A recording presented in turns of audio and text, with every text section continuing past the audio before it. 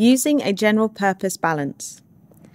To use the general purpose balance, you need the following materials your lab journal, a spatula, weighing boat, glass beaker, the general purpose balance, a brush, and paper.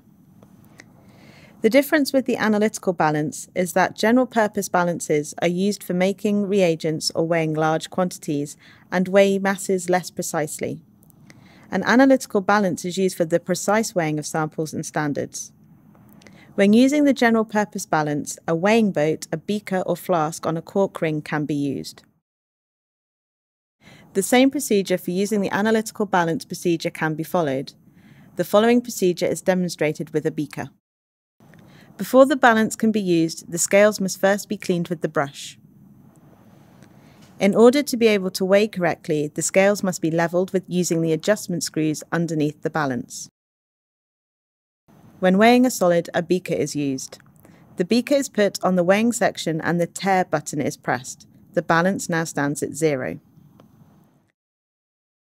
With a clean spatula, the desired amount of material is transferred into the beaker. The beaker is again placed on the scales. The remaining mass of residue is noted in the lab journal. If there is not enough material in the beaker, simply repeat the procedure. If there is too much material, it is removed with the spatula and discarded into the solid waste container.